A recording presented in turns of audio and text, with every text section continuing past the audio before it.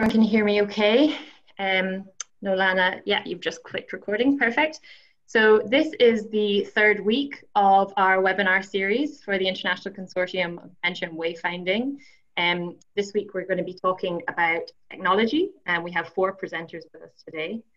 Um, just to quickly mention that um, we have a hashtag um, ICDW Summer Series. Uh, so we'd encourage you to, we're on Twitter, so if there's any conversation that you want to keep happening, then please go over to Twitter and keep it going over there. Quick disclaimer that uh, the opinions expressed by participants and, and um, presenters are of their own and not representative of the ICDW. Um, and just before we get started, a bit of housekeeping. Um, we're asking if people could mute their microphones when they're not speaking, please.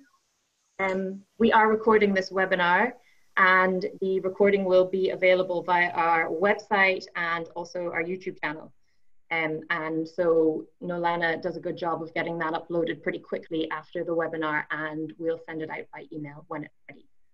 We would ask everyone to just type their questions into the chat function um, throughout the presentation. You'll see today we're going to follow a little bit of a different format the, the previous weeks if you joined us before. Um, but just typing your questions into the chat and maybe we'll open it up to discussion later and people could start um, coming in there. Uh, a quick recap. Um, our first webinar, our um, introductory webinar, we actually invited the speakers of the previous um, consortium and it was the Consortium for Dementia and Wandering and they did really groundbreaking research on um, trying to get this discussion started on people with dementia, the issue of going missing, and how we can kind of, um, I suppose, not solve it, but find ways of understanding how that happens so that we can prevent it in the future. Um, so it was really interesting to get that first presentation to get a bit of historical context. And um, since then, the way we use language has changed a lot. So Noelannah and I, um, we kind of sought their approval of the previous consortium to almost re rebirth the consortium, but um, in line with more inclusive language, we've called it the International Consortium of Dementia and Wayfinding.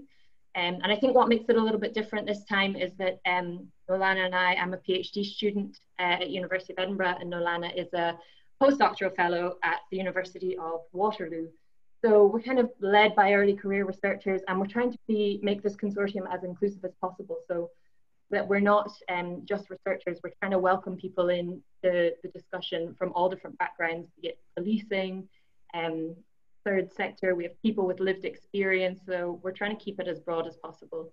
Last week we spoke about, um, we got the policing perspective, and um, a couple of really interesting present presenters there.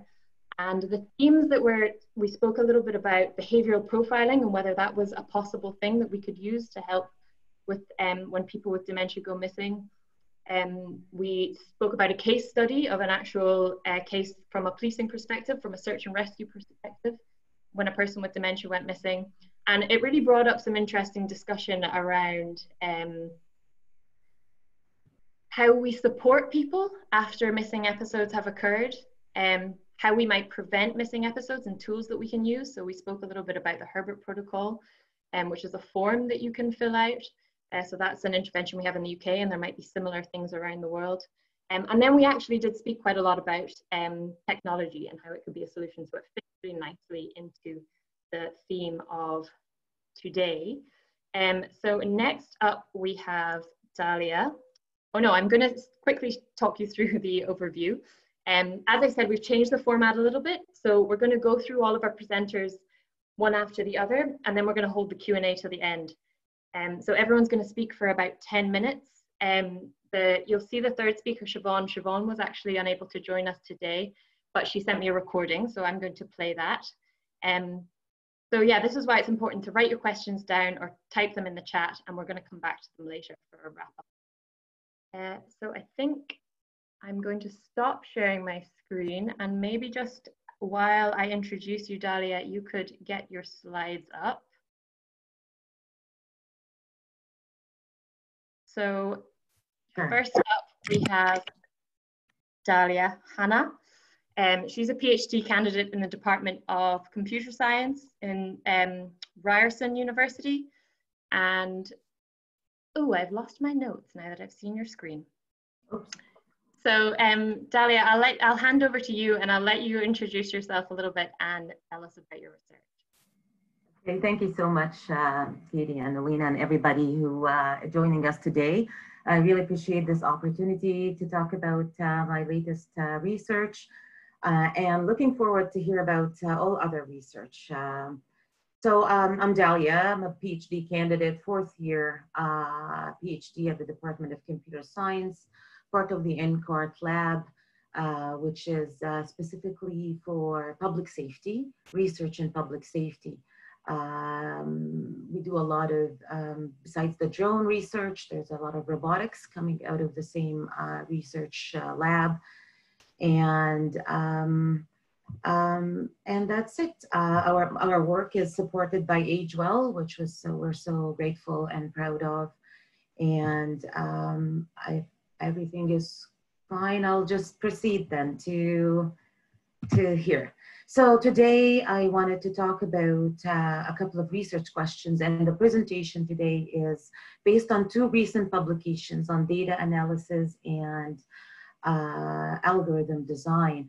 Um, the main, the bigger picture of my research is about using drones in locating a missing person uh, with dementia, uh, how it is used and uh, what are the best practices, uh, so what is the best design for an algorithm to uh, automate some of the search?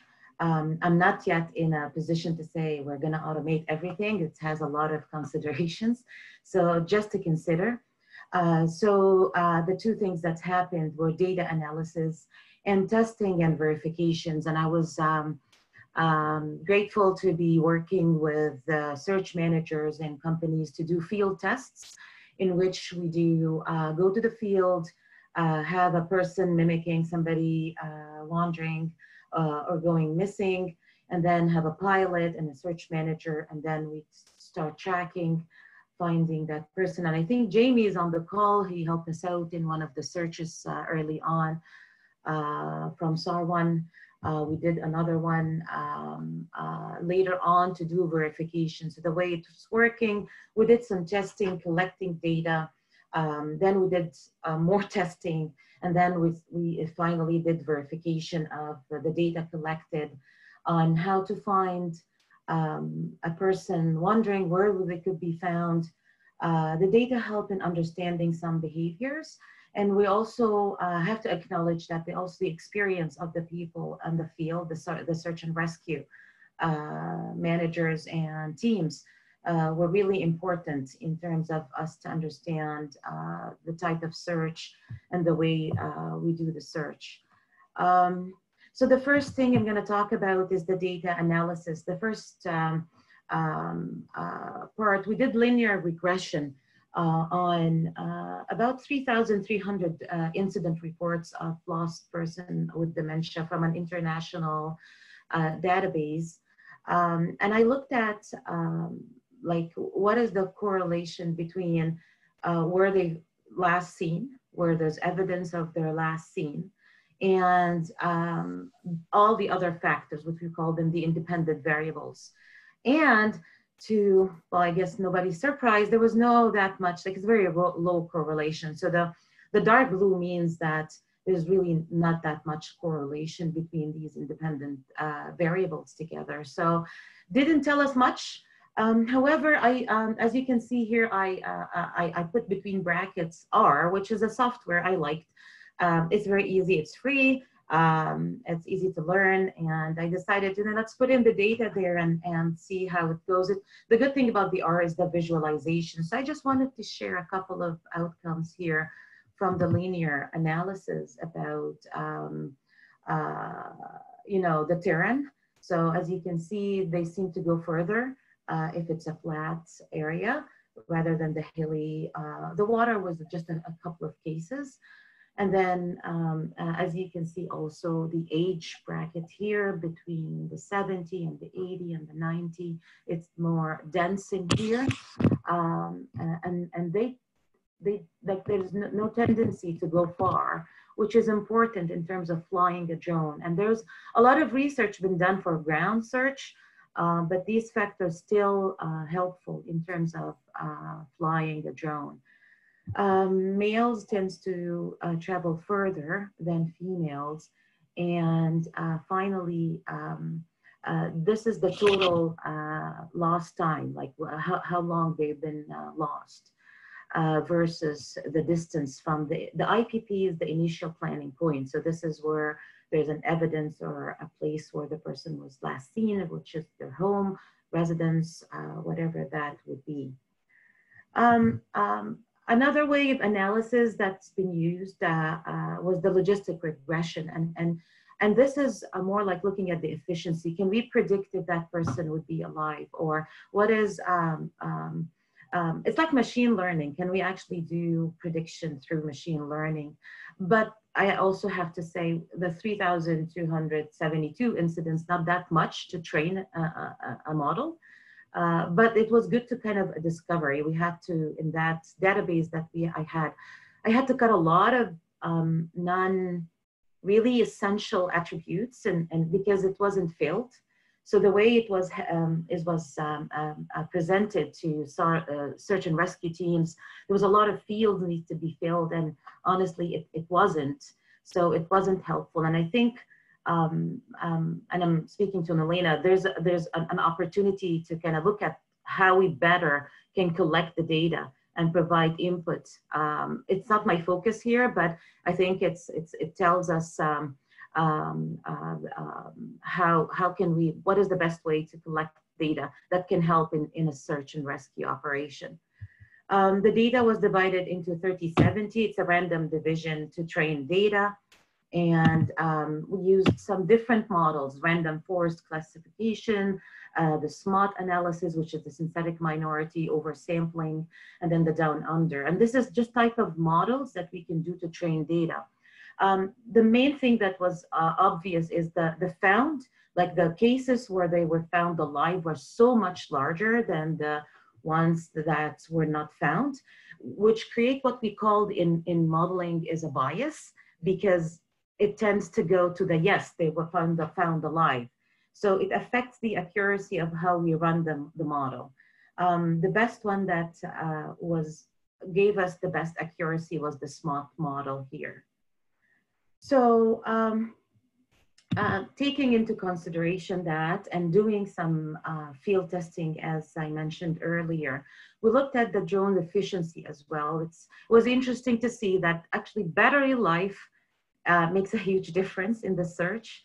Um, doing the, like the, the, the, searches that we've done a lot with police and, and SAR teams, um, there's some actually um, uh, parameters and battery life came up because you can search and you can plan uh, theoretically to fly the drones for hours, but it actually cannot happen because you have to come back. Even with the very expensive one that the police had, uh, that I, uh, you know, not my little DJI one, but the big ones, um, there was a limit. And, and that in the design, uh, where I'm trying to incorporate that in the design of the algorithm, at some point, you're gonna have to come back to base, recharge, and um, um, and fly again. And that was all captured. Uh, also the time on screen because uh, there's no GPS, so my search is my scope is not using GPS. Uh, but uh, the time of screen can actually recognize the person in a, in a timely manner. The, the, uh, the pilot and flight manager experience were really important in terms of one of the best practices in SAR, SAR like when we did the, the flight is um, the drone can always be uh, where they can actually be seen. It cannot fly beyond that as a safety measure. So that's also provided a limit on the search circle. And, um, and that was a, new parameter that needs to be considered um, in, in the design. And then um, based on the data, the terrain, the experience, and the total time lost for the um, inputs, uh, for the design. And finally, taking all this, uh, putting it together kind of in a, in a model. Um, this is a pre-pseudo code for um, an algorithm design and taking into consideration the HACE here is, is, is the hotspot where we're predicting that person would be.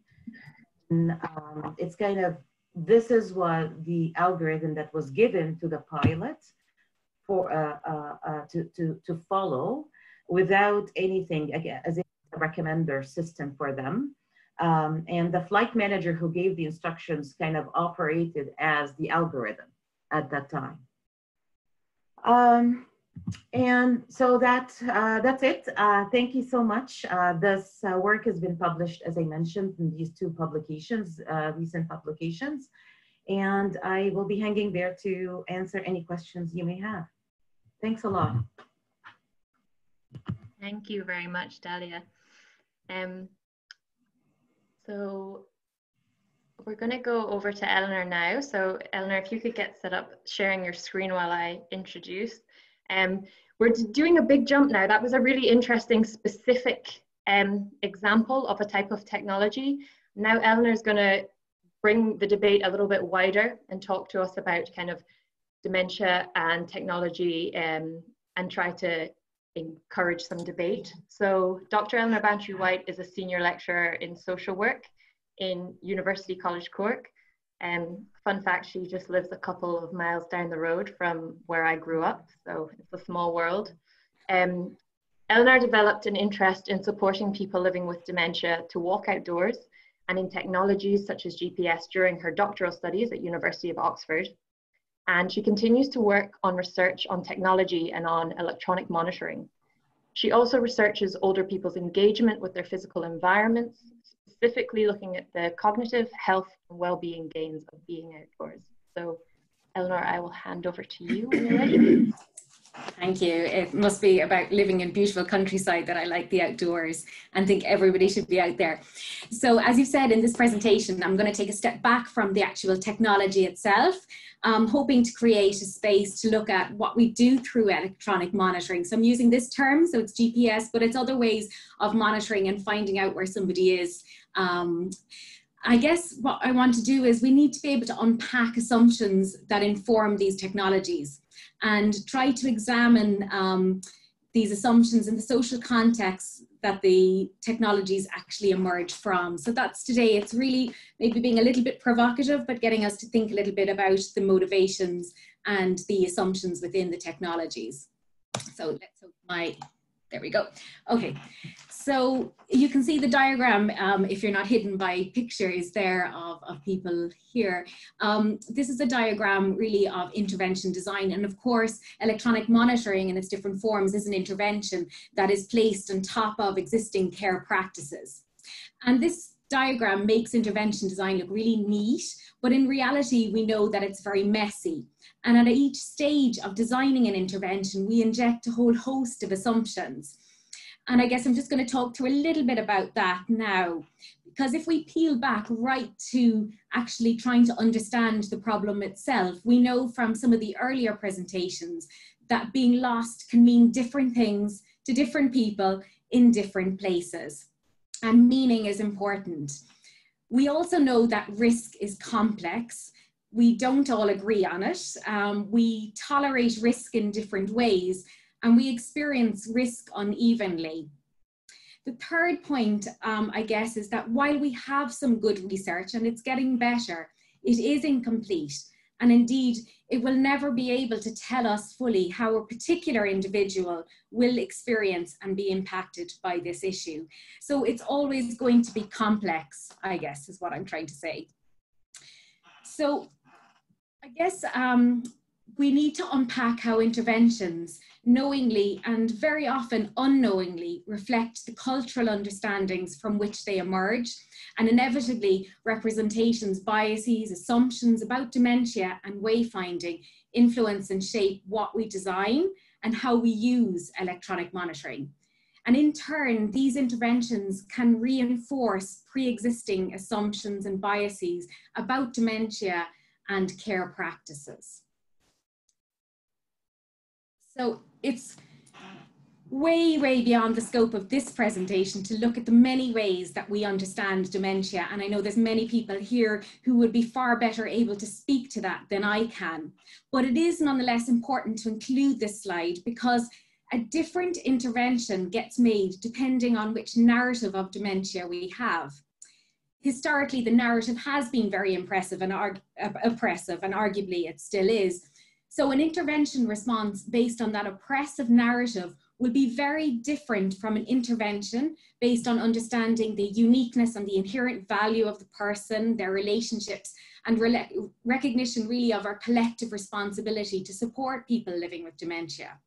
So consider how different design functions might look um, in relation to say user control over whether they're tracked or not tracked, the extent of somebody's movement before somebody's alerted to them having moved outside an area, or indeed how much we care about the visibility of devices is about how much we care about how potentially stigmatizing um, these things can be and so on. Um, and so um, Another, I suppose, area that I think is important to look at is understanding care assumptions. We also need to understand this because I'm not always clear who the electronic monitoring is actually for. Is it for the carer or for the person living with dementia or maybe a bit of both? And so we need to recognize that much of our understanding of care is based on those Western 20th century nuclear family norms that, of course, are highly gendered and tend to portray care work quite negatively.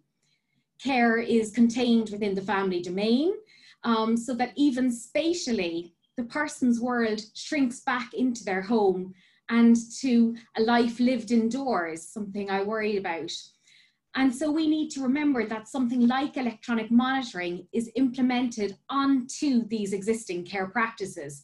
So norms about caring influence the intervention design also. So questions like who will control the monitoring? Who will have access to the data? How far should a person be able to leave their area and so on are all based on, I suppose, assumptions around how we um, understand dementia and how we understand what care should look like so just moved on there. Did I move on too far? Sorry, there we go. So why does this matter?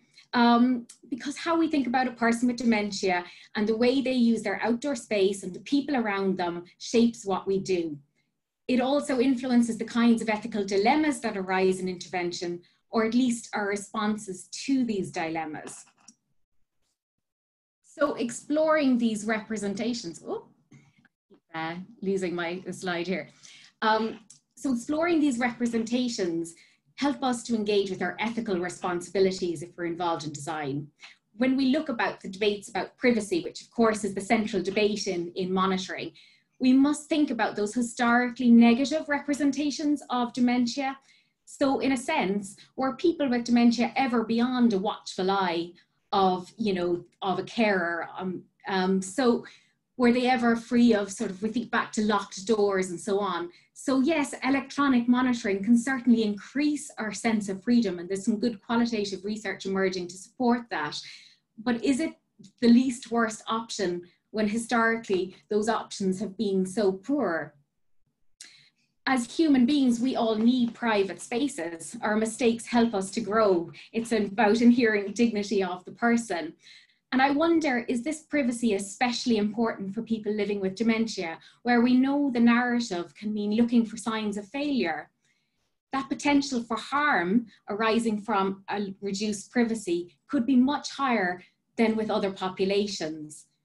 We also need to think about the carer assumptions, coming back to care again. Is the carer now the watcher? And how does that change their relationship? What about the carer's needs? The carer who is now never off and always responsible. So even when they're away from the person, they're still having to check where, where the person is.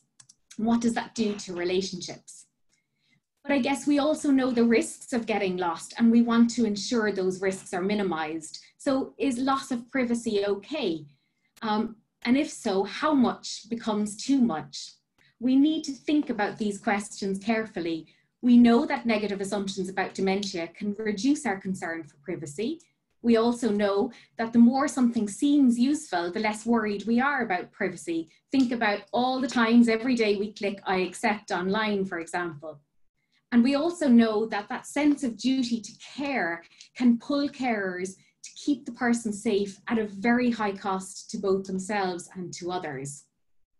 Another concern, and obviously it's an emerging debate, is thinking about datafication. Um, we need to think about this to ensure that our, the data we collect does not get a higher value than listening to the person, to their account of what has happened, and to hear their experience of being lost, remembering the uniqueness of each individual.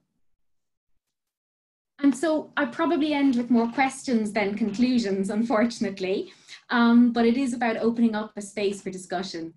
We develop who we are through our relationships and through the stories we tell about ourselves and about the people around us. And so how might electronic monitoring mediate relationships between people, communities and place, physical place? Our task is really to look at how we can align our technologies to progressive dementia practices. And so I conclude really by advocating a need for slow, reflective, inclusive spaces to build the good policies and regulations alongside the socially just technology. So that's really all more thoughts than actually presenting um, you know, hard research. Thank you. I'll stop sharing my screen now. Thank you very much, brilliant. Um, I think that's given us all a lot to think about, um, posed a lot of questions. Um, if anybody has any ideas, jot them down and we'll bring them back up. Um, definitely making me think about my rusty start to this, um, hosting this seminar series and how that'll be recorded and for everyone to see forever. But anyway, let's see if I can redeem myself because I'll be sharing a video of um, the next presentation.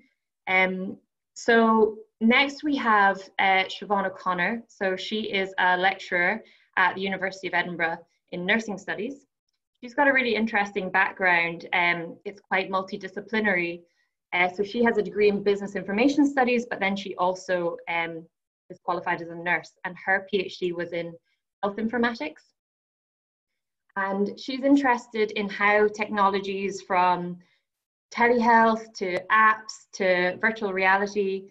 Um, how can they be used to support people to self-manage any sort of uh, chronic illnesses? So you know as well as dementia she's looking at asthma diabetes cancer. Um, and how these digital health interventions can promote public health and healthy lifestyles. Um, and she's also interested in how the application of these technologies can help um, support nurses and um, nursing students. So I'm going to just check. I think I might not have, I need to make sure the audio shares. Yep, share computer sound. I'll share video. Um, no, Lana, I can't see anyone's face, so could you just turn your mic on quickly as we start to make sure that people can hear the audio, if that's okay. All right, here we go. Good afternoon, everyone. My name is Dr. Siobhan O'Connor, and I'm based at the University of Edinburgh. For today's ICDW Summer Seminar Series, I'll be talking about health applications for people with dementia.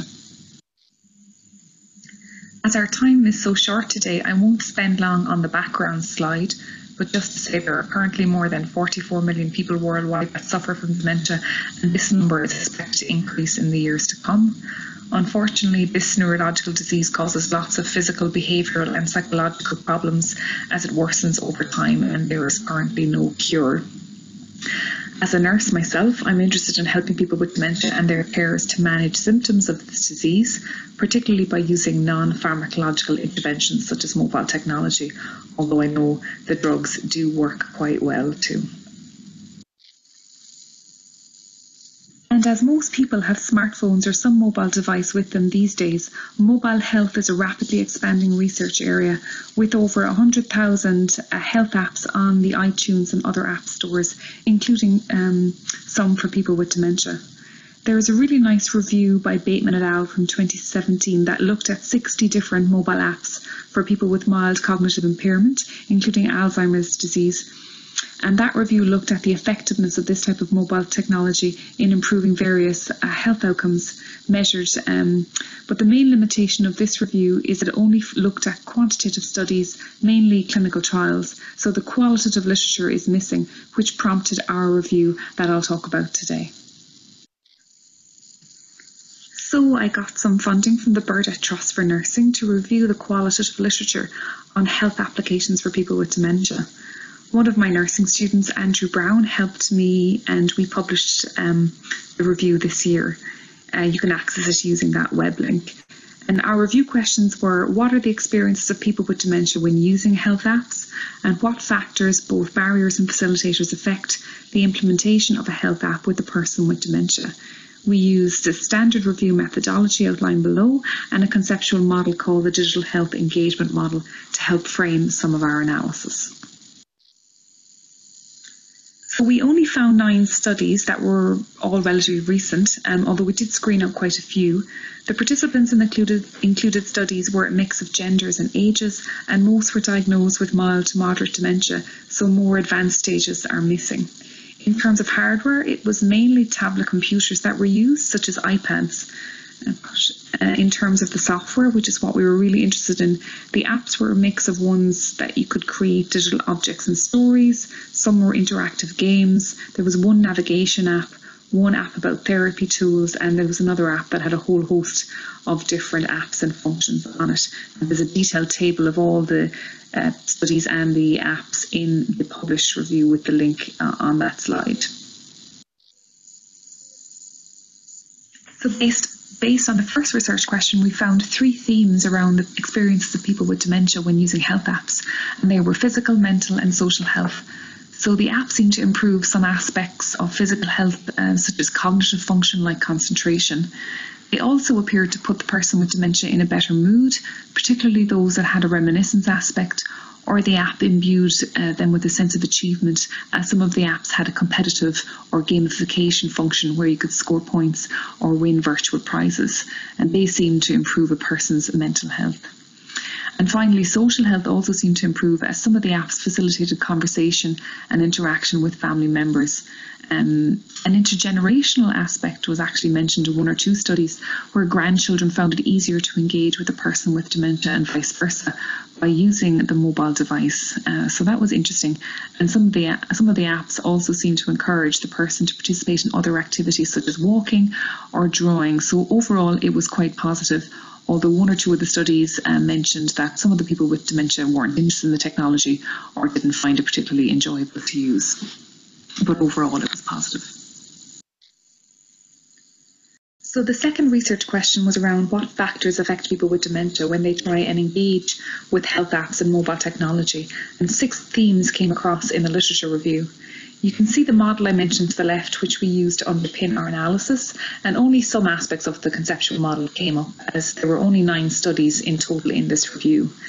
So the first aspect was around the quality of the design of a health app or the mobile device. If it was well designed and the functionality was easy to use, then that facilitated engagement. The second theme centred on the quality of the information or content on the app and whether people with dementia liked this or not. The third theme was per the person's own digital knowledge and skills. So those with better technical abilities found it easier to use the mobile technology, not surprisingly. The fourth theme we called personal lifestyle, and this was about whether using the apps fitted a person's day to day schedule and their activities. The fifth theme was around personal agency, so the amount of choice and control a person with dementia wanted over their health. And the last one was whether they were feeling well enough, either physically or mentally, to use an app on any given day and there are more detailed descriptions and examples from the various studies in the published review if you want more information on any of these factors that affected engagement with this technology. As you can tell, the literature is quite small on this topic at the moment, but there is some qualitative evidence that people with dementia can have positive experiences when using health apps, although some issues hinder their engagement with this technology. The review we did did have some limitations, mainly it has a Western bias. being English speaking literature from wealthy Western countries. So, some cultural or socioeconomic issues that people with dementia experience in other countries may be missing. Uh, many of the studies had limited descriptions of the participants and the mobile technology, both the hardware and the software, which does make it difficult to understand if it works or not in some cases.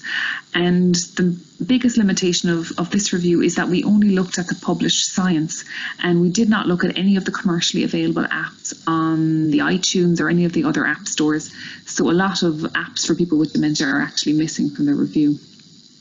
So, for the future, we're interested in working with people with dementia and their carers as co researchers so that we can jointly review user comments on existing commercial health apps for people with dementia, along with using an assessment tool called MARS to gauge their quality. And hopefully, that piece of work, along with the, the two literature reviews that are already published, will help um, give us better knowledge around health apps and whether they're beneficial or not for people with dementia and what ones work for what reasons. Uh, these are all the references from today's presentation if you want to follow up on any of the reading.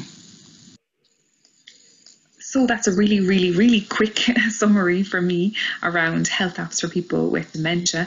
If you're interested in this area, I'd really recommend you read the review by Bateman et al. from 2017. That's a great start and it's a much bigger review than our review, but hopefully our review uh, Brown and O'Connor from 2020 is also helpful in terms of looking at more qualitative stuff. And in the discussion of those two reviews, there's lots of gaps in the evidence um, that we need to look at going forward. So I just want to say a quick thank you to Katie and Noelannah for the invitation to speak today. And apologies it's so brief, but hopefully it's um, a useful starting point. And also to the Burdett Trust for funding that piece of work. If you're interested, feel free to drop me an email or get me on Twitter, or indeed, if you're in Edinburgh any day, my office is just around the corner from this lovely plaza on um, Place. So thank you all for listening and um, I hope you enjoy it.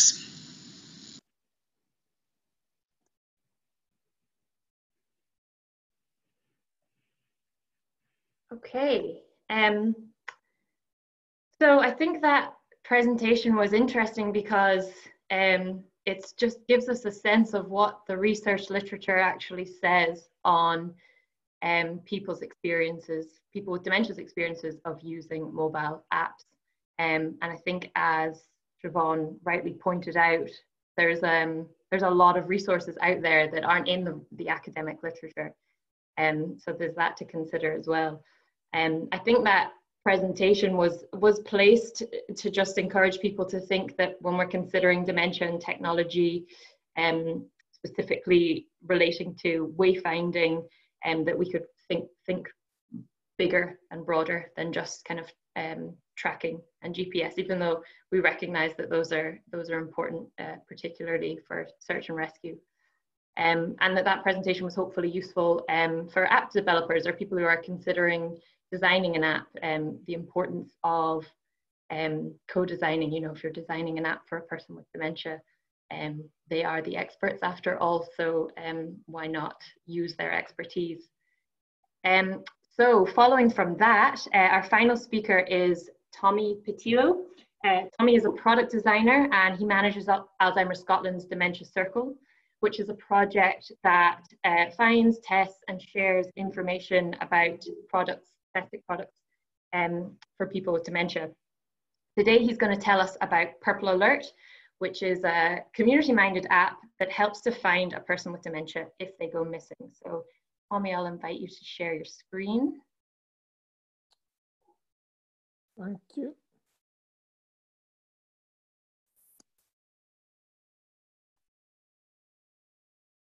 Give me a second. Okay.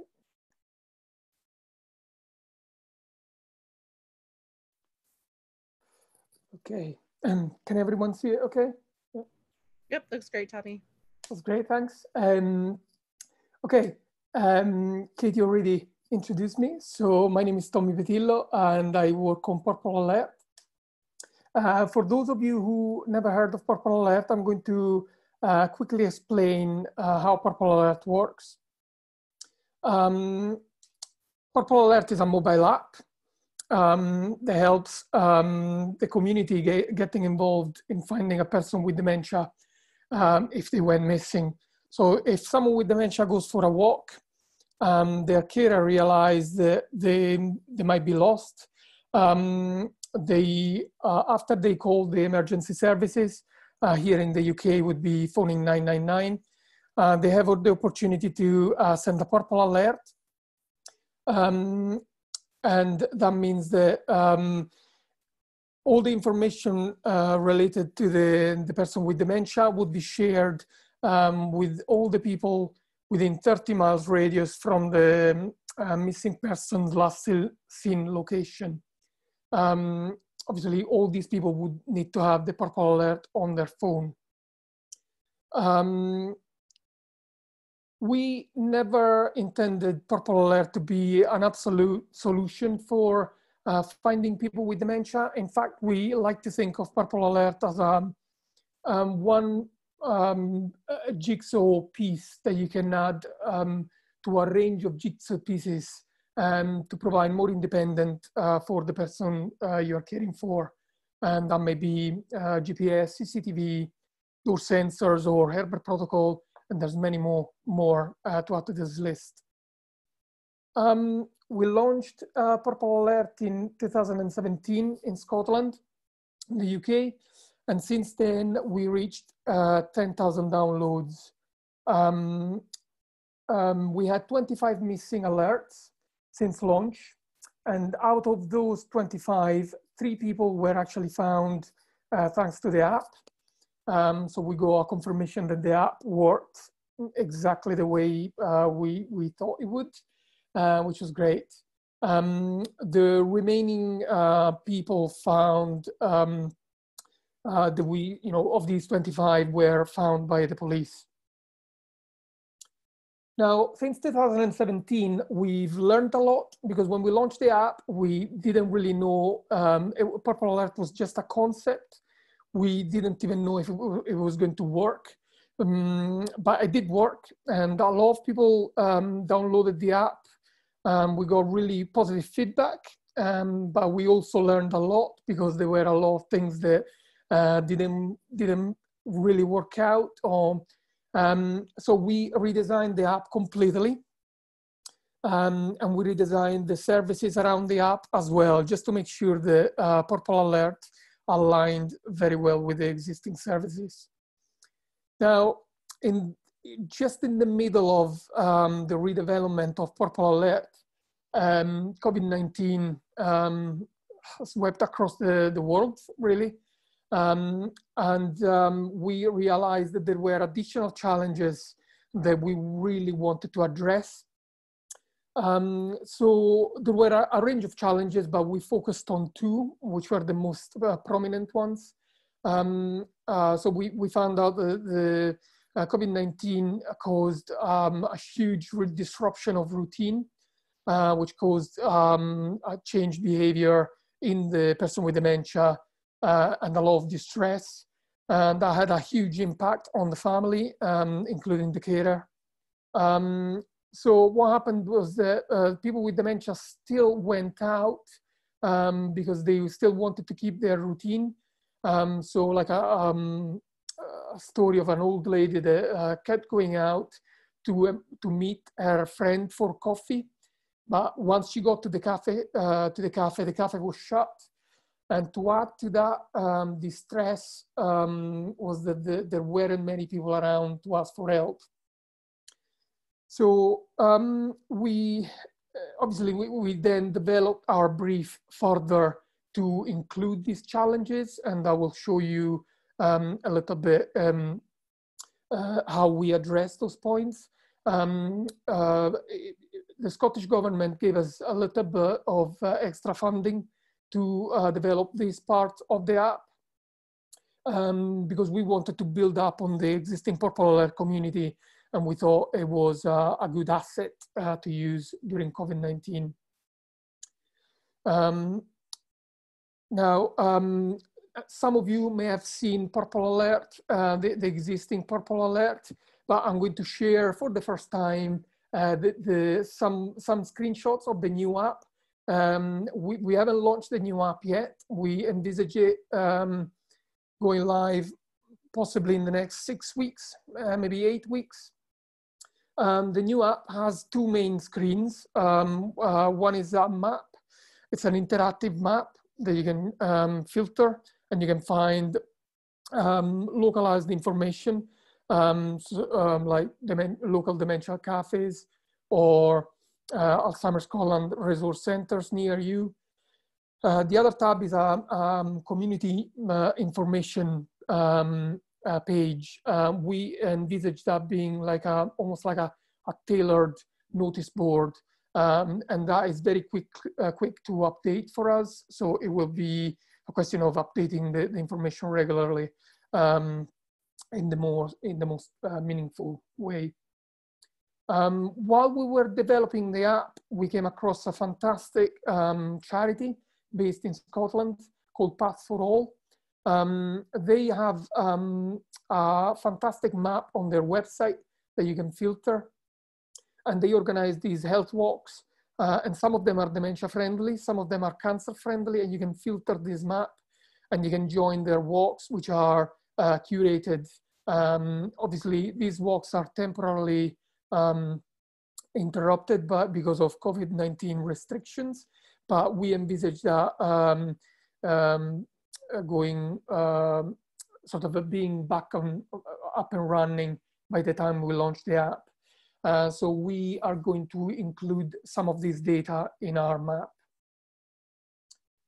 Um, another quite um, big piece of work we, we did uh, for the new app was developing, um, um, we call them toolkits. Uh, they are essentially a very um, easy to read step-by-step uh, guidelines um, around you know what you can do before, during, and after uh, someone goes missing. Um, and uh, we develop those both for carers uh, so that they know what to do, but also for the community that they use Purple Alert, what is good practice and what you shouldn't be doing.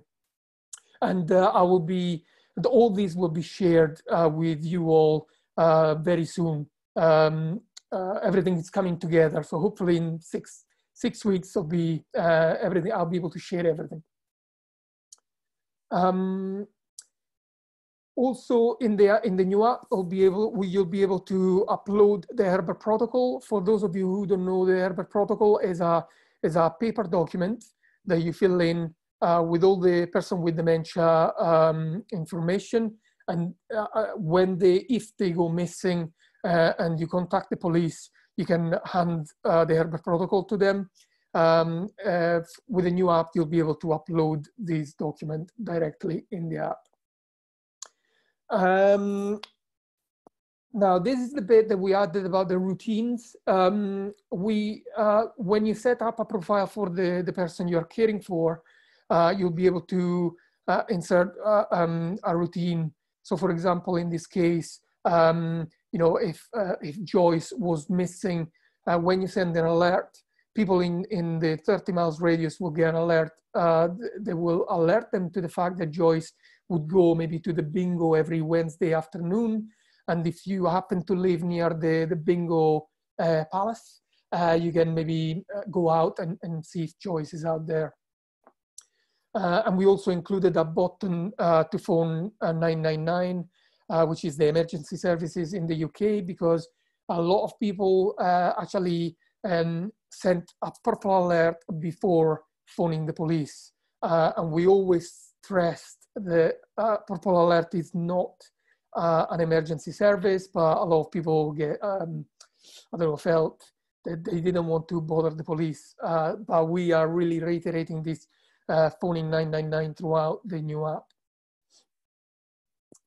Um, a lot of people also commented on, on missing occurrence uh, with very good willing messages, but um, these messages can be very distracting for someone in the middle of uh, search. Um, uh, so we added a send love button, which is uh, a bit like a Facebook like, and hopefully people will rather send love than commenting uh, unless they have a, a, very important message to share with their carer. Uh, last but not least, we um, included our return discussions button. Um, a return discussion, uh, so in, in Scotland, uh, in UK, uh, Police Scotland um, uh, will do, um, every time someone goes missing, they will do a safe and well check. Um, but we wanted to enhance that service. Um, so we, we added these return discussions right in the app. Um, a return discussion works like that. So if, if the person with dementia um, returns home, the family will mark them as found on the app. The app then will um, prompt the family to contact the local dementia advisor. Uh, this is Alzheimer's Scotland staff. Um, and within 48 hours, the dementia advisor will get back to the family uh, to organize a return discussion. Uh, the return discussion will be uh, designed to comfort the, the carer and reassure them, but also to debrief the, the missing occurrence and to understand what happened uh, in order to um, advise um, on preventing that from happening again. The dementia advisor then will uh, uh, compile all this information into an email and they will send the email to Police Scotland, which will upload all this information in their own national missing person database. And this is, uh, uh, uh you know, strictly private to the police. But uh, what, what that means is that if the very same person will go missing again, Police Scotland will have a huge amount of information uh, in relation to that person that they can uh, they can act upon. I think that's me. Thanks very much, and I'll be happy to answer any question. Thank you, Tommy.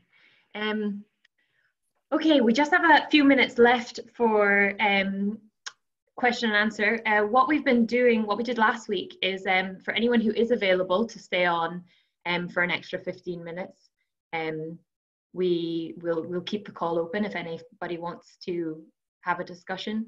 But for now, is there is there any questions for any of the speakers? Um, you can either type them in the chat box, or if you want, you can just un unmute your mic and quickly speak if you find that easier. Just introduce yourself if you do. Well, I know that um, Christine Thelker, she had just left a comment for Tommy. She just said that she was wondering if there could be a way for a button to be added, Tommy, um, for people living with dementia to push if they need help. The idea of um, of Purple Alert is really uh, uh, an app for the carers and the community. Um, uh, the idea behind the app is that the person with dementia won't need to necessarily carry any technology, any uh, tracking device or any, um, any phone. Uh, so it's the carer that will uh, send an alert out when they realize that the, the person is missing. Um, so we are uh, assuming that the person with dementia doesn't actually have their phone with them, because otherwise if they had the phone, uh, they would probably phone the carer or the carer would phone the person with dementia. Yeah, I think Christine, you've got your hand raised. You. Um, thank you, Tommy. That was fascinating, and I'm really keen on that project. Um, one of the things, though, as a person living with, um, and I live alone, and I am really striving to stay alone and independent. So the reason for asking about the button is there is no care that is going to alert, and often, and I and I do a lot of out and about, and I'm out in the woods and I'm all over the place. So it would be sort of the second part of that program if it gave me the ability to continue to do those things, but to know that I could hit a button if I found myself where I wasn't sure how to get back or whatever I was doing, that I could send some type of an alert that I needed help. Because there's a whole segment of us out there that live alone and we sort of fall through the cracks because everybody focuses on the the partners and nobody looks at those of us that don't have any of those things in place. We don't have family, we don't have, so just some thoughts for everyone. It's a very good point, and I will I will take note of that because it's um, yeah, absolutely. Just an observation on the chat as well. There's been a couple of questions about resources, and um, we will be putting everything on the website. I don't know, Noelannah, if you want to give a quick update on the status of the website. Um, yeah, so the website was finally ready for it to be populated. So um, Katie and myself um, and the others from University of Alberta U Waterloo, we've been um, uploading everything. So by next week, it should be ready to go, and we're gonna have everything there. So I'll be able to talk about it when uh, it comes back to my seat when I chair next week's session. Mm -hmm. um, I, it's Jamie here. Would I be able to uh, talk about dial-up or Of course. yeah.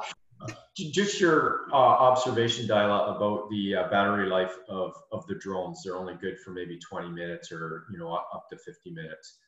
You, you have to remember uh, helicopters might only have a one or two hours of flight time when they arrive on station as well, and then they're down again to go get fuel for a few, you know, one to two or three hours as well. So your use of the drone, although sometimes it's limited in the battery, its time on the searches is extended. So it's, it's virtual.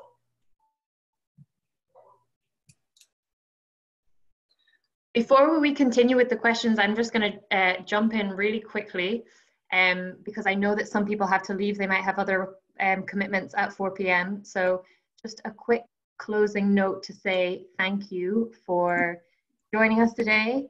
Um, we do have these webinars coming up, so please um, please register. Um, next week we have uh, Christine, who you just heard from. She's going to speak about her experience, joined by Paul Leah. Um, and the remaining um, webinars are going to address a variety of different topics. So yeah, just to summarize that I think that today has really prompted this discussion that technology can be great. There's a lot of potential here, but we have to be cognizant of how we're using it to push for it to be empowering and supportive rather than invasive. Um, so yeah, we're please continue the conversation, but I just want to jump in to give permission to people who feel like they have to leave to leave. Um, and if anybody has any questions, um, feel free to write them in the chat, email us.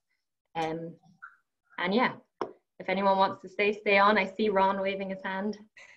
Hi, Katie. Oh. Go, go on, Ron, and then after all, there's two uh, questions that have been waiting in the chat box. Okay, thank, uh, thanks everyone uh, for presenting. Uh, Tommy, uh, great work there um, on Purple Alert. I kind of knew about your work uh, three years ago um, through a good friend, Agnes Houston. Um, so um, I appreciate the work you're doing there. Um, and Dalia, good to see you again. Um, uh, we're here in Toronto.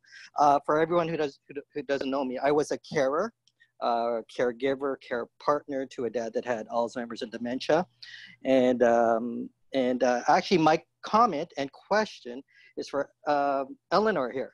And thanks for that great I know how you describe it. It's not maybe, it might be creating more questions or more discussion, um, what you're presenting. And um, I do a lot of presentations to carers about people that go missing. And uh, I think I love the emphasis that we need to kind of know who it's for. Like it's not just for the person that with dementia. You know, that's one piece, and that's a priority. Like Christine, you spoke. Um, good to see Christine. And yeah, we need to make sure you're safe, Christine okay? And we start off with you. No support system. You're on your own. You know how do we keep you safe? So i appreciate you know that has to be covered. Then there's the other part where the concerns of myself as the carer you know um, caring for my dad. So there's that piece. And then there's the dyad you know i don't think we talk about the dyad enough that it's kind of together but how it's a relationship piece. There's trust that's needed with that okay? Just because there's a care, it doesn't mean there's a trust relationship. Um, you know, that uh, my dad might not want me knowing where he is, let's say, things like that. Um, so things like that. Um, but then there's the other piece of when does it become a concern, let's say, in the community, okay? So we have police services here. Okay, when do they take over? You know, and we're actually dealing with this situation with COVID right now. Okay, with the virus, it's like okay, who takes priority? You know, so um, I, I appreciate the work you're doing. I'm more curious about your thoughts around the messaging uh, to people with dementia, to persons with dementia, to the carers, is that understanding of communicating the work we are we're all doing here. Okay, um, that communication of uh, how do we get better at that? Okay, um, with regards to knowing okay which lens you're you're you're doing this from. Okay, because I've been around carers, and they say no, we we're going to do this, and I have to stop them and say, okay, are you even thinking about the person you're caring for? Their rights, the ethics, the privacy issues, all that stuff. Um, we had video cameras for my dad in the home, and some of you will see it in my presentation in two weeks. Um, but that we, you know, we went over that with my mom and my dad, and it, and I guess more my curiosity is flexibility. Okay, how do we communicate flexibility that there's no one right solution, it's not a perfect solution, and a combination to give the best success. So I just want your thoughts, comments, um, you know, coming from your side, from the research into the community, the knowledge translation piece, knowledge, uh, trying to get that out there. Really, really interesting points, and I couldn't have made them better myself.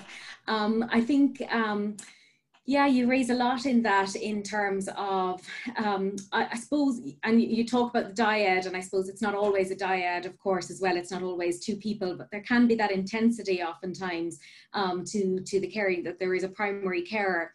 Um, I suppose I'm slow to polarize the needs completely. I think sometimes we need to look at the separate needs of and the distinct needs of a carer and a person living with dementia, but they're not completely separate either. That um, you know, all human relationships um, involve sort of, you know, reciprocity, mutuality, um, and usually a concern for others. But as the sort of cynical social worker, which is my my other life, um, knows that there can be very dark histories in relationships too, and sometimes care work can bring people too close as well.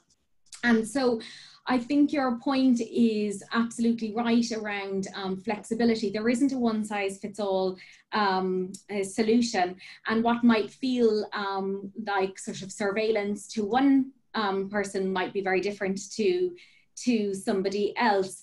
Um, and I guess um, we need to, I suppose, we need to understand, I suppose, the the relationship context, the relationship history, issues of power in that relationship, um, and so on, and really open up those discussions, and and and maybe that involves people outside of the, the immediate um, care network as well.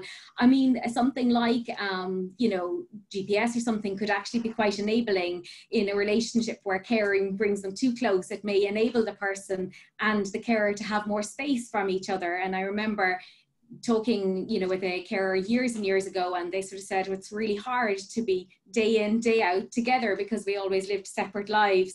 So I think um, we can use technologies and other interventions to try and support ways that keep relationships healthy and keep relationships um, strong. Um, but as you say, it's facilitating those conversations.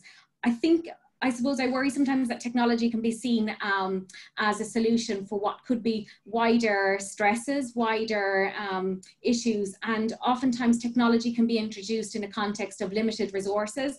Like we don't resource care work enough, we don't value it enough, and so maybe it's maybe it's other solutions that are that a, that a person needs um, rather than just the tech solutions. So maybe it's actually that this person you know, that a carer has a right to an identity outside of the carer role and so on. So we need to understand what the motivations might be and slow down the conversation. I'm not really answering it, but I'm, I suppose I'm just trying to acknowledge what you've said in terms of it's about the diversity. There isn't a one size fits all, and really it has to be an individual's individualized response that promotes okay. open discussion.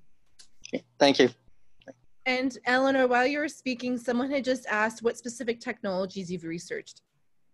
Um, I haven't um, looked at specific technologies for quite a while. The original research would have been GPS when it was when before it was sort of integrated into a mobile. Really, it was the devices separately that people carried, um, which caused lots of um, lots of issues. Some of them have been mentioned in in the track in the the Zoom chat already.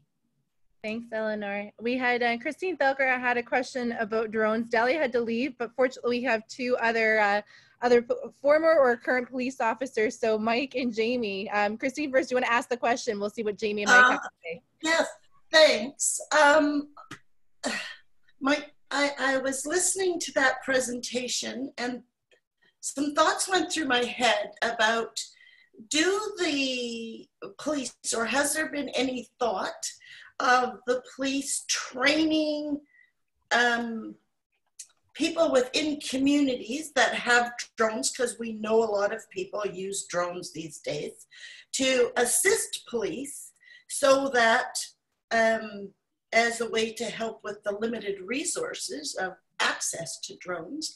For example, you have that two kilometer radius that they talked about, and then you're moving to another two kilometer. Can they train people within the community and set them up so that you're not having so much downtime recharging that you're coordinating with residential people to help you. We need you here at this location and we want you to scan this area. And you can um, maybe do a broader area that way.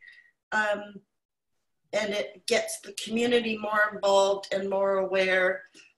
Um, and offers a, a, lot of good things for people with dementia. I'm, I'm sorry, I'm not, I'm not explaining that very well at the moment. Um, uh, Christine, uh, I'll uh, jump in here first and then I'll let, let Mike add some in. And something when you're, you're talking a search and rescue operation where you might only have 2.4 kilometers. In airspace, that's a very small piece. So what the pilots have to know is where the flights of the other UAVs are going in the area, the altitude they are, the speed, and, and all of that. So quite often for one drone, it sounds like a small, you know, a small resource or a small number. It's very effective to cover that off in probably 30 to 45 minutes. So because they're not searching the whole area where all the bushes and all that, they're only looking on in open areas in areas where there'll be a high area of probability.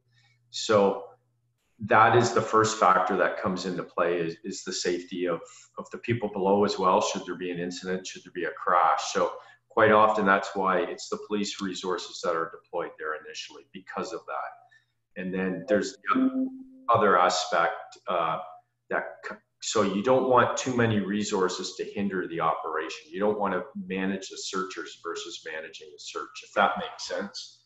Okay, yeah. Um, yeah, and then, and then when they get there, like to, uh, it's good to say it would take a lot of training to have volunteers, and we do. They do use volunteers in ground search and rescue, and in air. Actually, uh, the Civil Air Search and Rescue Association in Canada uh, they, they are from a fixed wing from an aircraft from above are trained and it, it does take a lot of training. And it's more than one or two days a year. It, it's quite a commitment to, to work together uh, to find that person right? So you usually that one uav is more than adequate to cover off a search. Thank you. Yep Mike Adler, did you want to uh, to add to that, or we want to open up to? We have uh, questions for Tommy next. Uh, yeah, can you hear me okay? I'm having some computer yeah, issues again. Uh, just just to add to that, there's in Canada especially, um, I, am pretty sure that our government doesn't want a single drone in the sky. It's very restrictive as to licensing requirements. Um, there's two types of licenses you need um, just to fly a drone that's over you know, a very very lightweight. So, from a liability perspective, if police are engaging people openly to assist them in a search, we have to consider that. Are they licensed? Um, what type of equipment do they have? What are the what are the drones' capabilities? And then ultimately, how do the police um, uh, measure how satisfied we are with an area that would be searched by a civilian? And that's part of uh, the search managers have to analyze and make sure that we haven't missed anything. And as Jamie added on to, um, it's it, a two kilometer area is not a, a, large area, especially for open areas for a drone to manage. Um, the downtime is often mitigated, certainly by our servers where we have multiple drones ready to go. So when the battery dies uh, or starts to die on one, we can simply raise another one and it can meet it up in the air.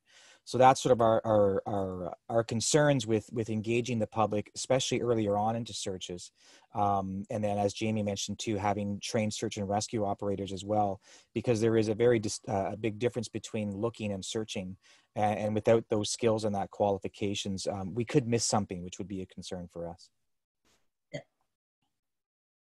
Thanks, Mike. Roger, do you want to ask your question to Tommy? Yeah, uh, one a comment and a question. Um, I'm I'm thinking Scotland uh, is a real get it get it done kind of country. Uh, you you have things like the Herbert protocol in place, super impressive. Uh, you're about to launch this app and, and to me, that's amazing because all over the world, uh, there, it's so difficult to get a consensus uh, and, and buy it for something like this. And you're about to cross the finish line. So kudos to you. Uh, that's amazing in itself. But I, I'm, I'm curious about the, the process. Um, what I mean by that is uh, in Canada, we've tested uh, uh, similar things that you're proposing. And like, I'm curious with police forces, search and rescue, like, I'm curious on where you've tested it. And the other thing I'm really curious about is, is are you getting buy-in from society with this? What I mean by, say, your Alzheimer's Society, different societies promoting this app uh, how's the government feel about this? Things like that. I know it's a mouthful, but uh, care to comment? yeah, no, well, thanks very much for your kind words. Um, it's been uh, it's been a long process. Um, so when we eh, first started uh, developing the app, um, it was 2015. So it took us about 32 months uh, to put together the first app. And um, we tested it um, in Glasgow, Edinburgh, um, and up north in rural areas to see if it actually works in different settings. Um, and then we launched the first the first app. But when we launched in 2017, um, we only had about 100, and, 100 people that had the app on their phone. So we didn't really do a massive launch because obviously the community wasn't there, so we couldn't really see how the community is out there looking out for you. But the, the uptake from the community was actually quite big. Um, and um, so that was reassuring for us because um, it really um, validated all, what we were thinking. Um, so based on that, then we, you know, people just steadily started downloading the app. Um, and uh, only two years later, when we reached the milestones of 10,000 downloads, then we decided to uh, redesign the app with all the all the learning uh, we did. And, and, to your point about linking up with other organizations, um, uh, yes, we are working with loads of different organizations. Um, the, the, I think the first, um, the, the main one is Police Scotland because they are the ones that really have the resources to look for people with dementia if they go missing. Um, but we also have local authorities. Um, so here in, in the UK, there are, you know, I don't know how it works down where you stay, but local authorities are basically city councils, essentially. Uh, uh, so they, they, when they get on board, they will get all their staff to download the app on their mobile phones. So that instantly makes an entire community a lot safer for a person with dementia if they go missing in that area. So um, again, we, we didn't really have a massive official launch yet because we really wanted to, to have the product working really well before we did. Um, so hopefully we, we will have a, a proper launch when we launch the, the second version of the app.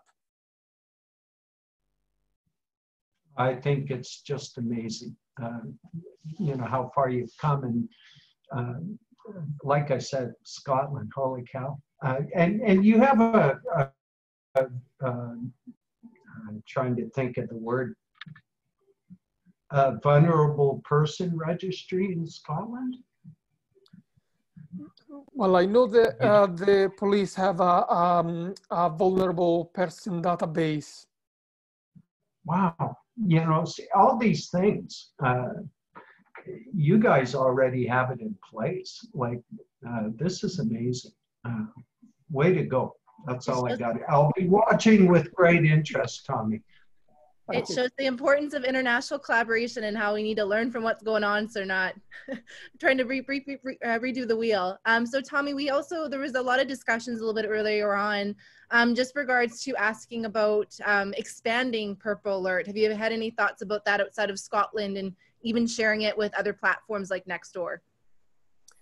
Yes, uh, we have been working um, with uh, uh, Joe Apps that I believe is in the call. But anyway, we, we are hoping that this app will move down south in, in the whole of the UK. So uh, Scotland, England, Wales, and, and Ireland and Northern Ireland soon. Um, and uh, of course, we are very, we would be very happy to, um, to expand even further. Um, as I said before, if we want to make sure that the product is absolutely spot on, because at the moment it's still a little bit buggy and we've got a few things that we, we are still um, uh, fixing. So uh, we just want to make sure like, know, you wouldn't sell a table if, if it's got three legs. So we want to make sure that it's, it's proper stable. Where can we look at this or can we? Is there a link, that kind of thing where we could? Not, not yet. Yet. I I, okay. I will. Um, you can you can see the the current app um, uh, on on our website um, a little bit. Uh, purplealert.org.uk. Um, but I can I can type it in the the chat. Um, but it's purplealert.org.uk. But when we launch the new app, we will we will make it. Uh, we will share it that's great. Thank you, Tommy. Good job. Good job. totally. Um, I know that um, our other presenters had to go and, and said that um, they were happy to be emailed if anybody had any questions. So I guess before we wrap up, does anybody have um, any, any other discussion points they'd like to share? If not, we do have the final webinar at the end of the month. We're opening up to a large point of discussion. So if we have any burning questions or anything like that, it's literally going to just be open for us to be able to chat about everything we've learned. Or things that we I really think for me personally, a learning point of this conversation has been that we we say technology and it's such an umbrella term and and even specifically related to you know helping persons with dementia with with wayfinding, there's technology that supports search and rescue. There's technology that supports the person with dementia. There's technology that supports the carer, and and they're all different, but also they shouldn't exist in silo because there's um, it's important for them to all be related. So I think it's a really really complicated area, and yeah, I think that this is just a real scratch the surface of of the types of things that we could talk about. So thank you so much, everyone, for joining. And please join us next week. I think next week is going to be the highlight of the whole webinar series. Um, and um, yeah, we'll see you then.